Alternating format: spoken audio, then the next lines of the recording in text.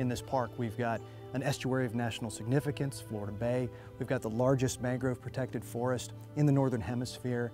And we've got uh, this behind me. We've got wide open sawgrass prairies, the largest such stand in North America. And these resources are singular. And these are the reasons, some of the prime reasons why the Everglades National Park was established to begin with.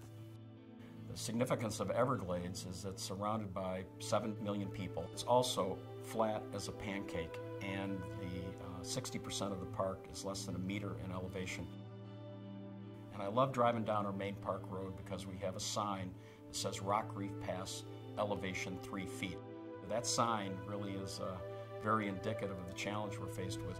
Ever since I've been here, we've been wrestling with a lot of factors that uh, is part of this climate change issue for uh, sea level rise and changes in temperature, changes in precipitation, uh, changes in uh, extreme weather events, including hurricanes. And uh, they all have uh, different effects on this ecosystem. We look at what the, the sea level rise projections are, and that's a big challenge for us, is keeping track of the science.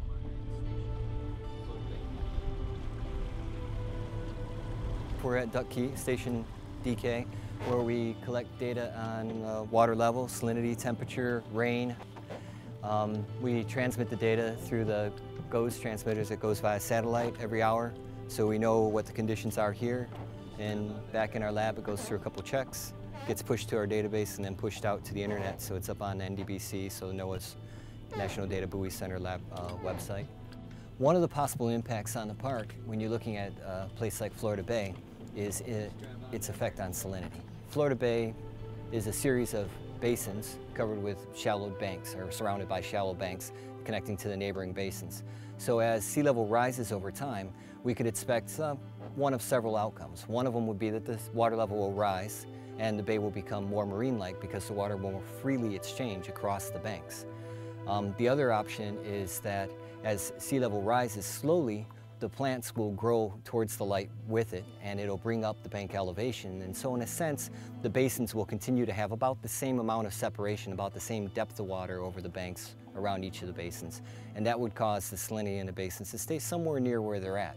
So having collected water level data since uh, 1990, roughly, we're starting to have a, a, appreciable time series, over 20 years in the Bay. It's nothing compared to the 100 plus years that you have at Key West, but it's still a long enough period that we're starting to see in the 20-year record evidence of sea level rise right here in Florida Bay. So our tide gauge again in Key West has been noting that rise, two millimeters every single year, more or less, over the course of a 150 year data set. And we know what's happening there. It's a one two punch, both the loss of land based ice, like the glaciers that we have in Kenai Fjords, as well as thermal expansion, is really pushing these seas higher and higher with every passing year having impacts for areas far, far away from those points of origin, like the lowlands of the Florida Everglades. You know, we're, we're faced with some real challenges in terms of a freshwater marsh transitioning to more of a saltwater dominated system, and of course, the, the species would change. And uh, that's a real challenge for us.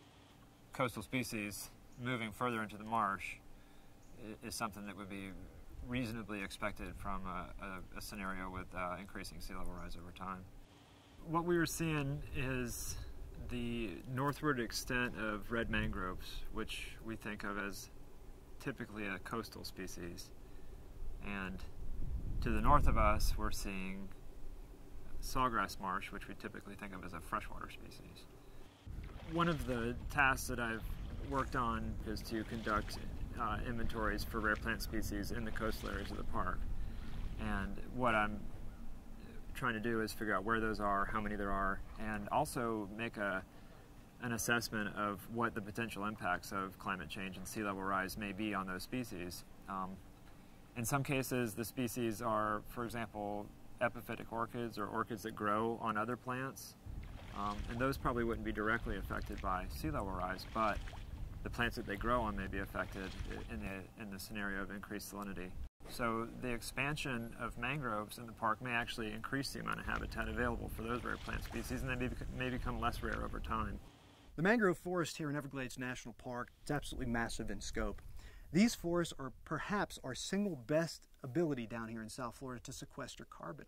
The trees are neither exceptionally tall nor are they especially girthy.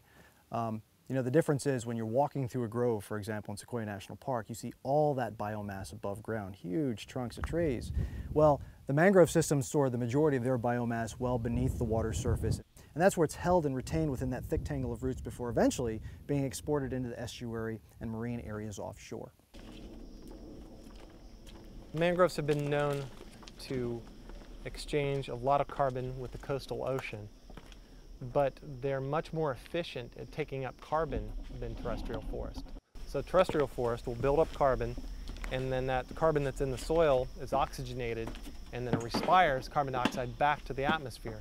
And part of why that's important here is that um, not all the carbon stays here in the forest. Some of it is exchanged with the tide and the tide comes in, the carbon gets exchanged into the water column and it gets taken back out um, to the rivers we started to build this tower to get an idea of the amount of carbon uptake by the mangrove forest out here.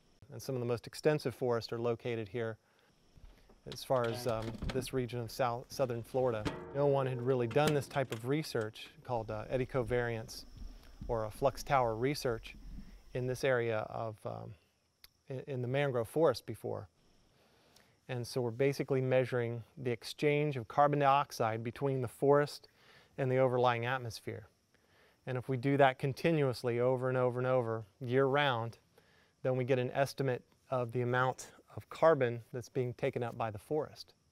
Interesting question is, will they be able again to keep pace with sea level rise, especially in light of occasional disturbances by things like tropical storms and hurricanes? The jury's still kind of out.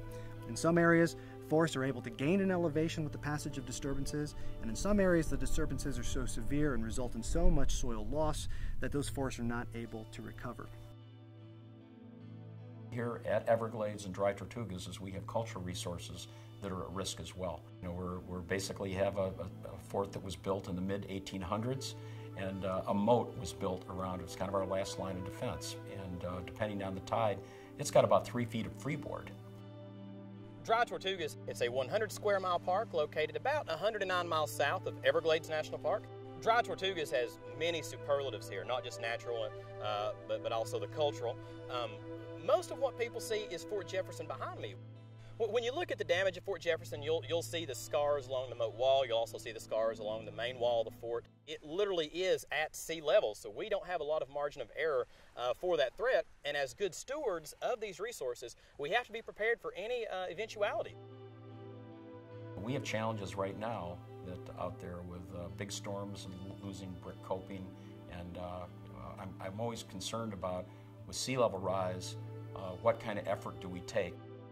My hope is, is that um, you know, we're a place where people come, uh, they respect rangers, they respect people who wear these uniforms. We're a place where we can really communicate about climate change. We look at our visitors that come to these parks, and every single one of them has a smile on their face, and they appreciate these places as unparalleled areas of great beauty and endless sources of inspiration.